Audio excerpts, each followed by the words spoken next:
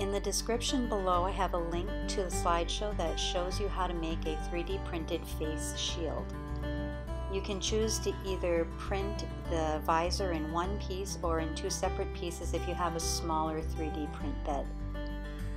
If you do print it in two separate pieces, what I like to do is use a 3D pen to kind of put the two pieces together. If uh, you don't have a 3D pen, you can use zip ties and zip tie it together. I also like to add a separate uh, pin in between and 3D print uh, with the pin in it just for added strength. Now it's time to take the weather stripping and put it on the inside of the visor for comfort.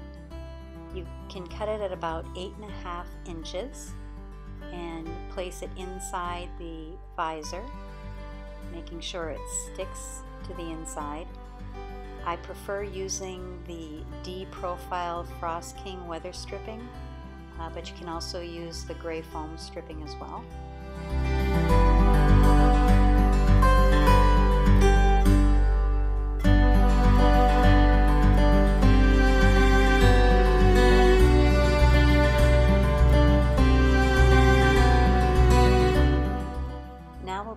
Elastic band on the visor.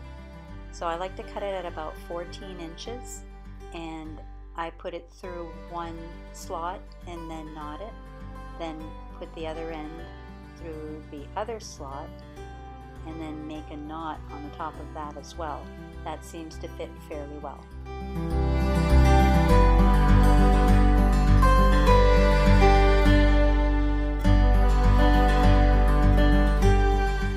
Slideshow in the description shows you where to mark your holes for your pins or your clips on the transparencies. I made a template of those and I just put my new transparency on top and then I proceed to punch the holes.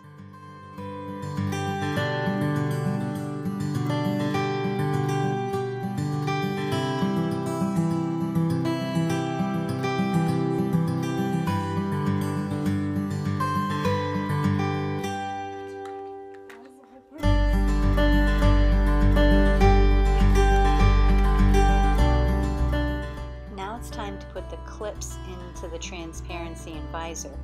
I like to print my clips with flexible filament just because it has a little bit more give.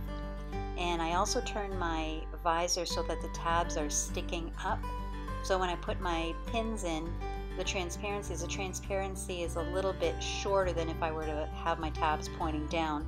The healthcare facility that I worked with uh, to begin with wanted the um, shields a little bit shorter.